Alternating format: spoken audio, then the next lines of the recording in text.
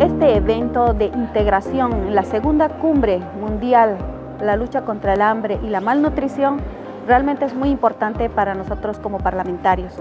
Nos da una reflexión para que nosotros podamos seguir consolidando leyes favorables a este aspecto.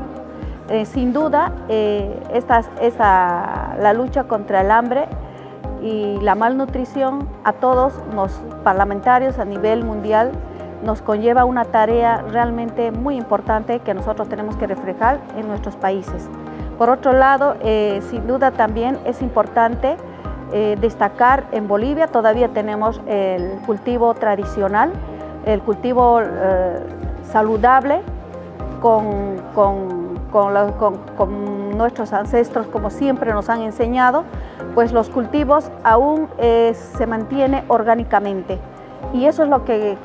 se pueda valorar, eso es lo que garantiza la seguridad alimentaria por otro lado y también lo que es la calidad de la, de la alimentación. Muchos aún no han, no han, incorporado lo que es la producción con pesticidas, eh, con productos agroquímicos, que eso eh, contrapone a la, a la, a la salud.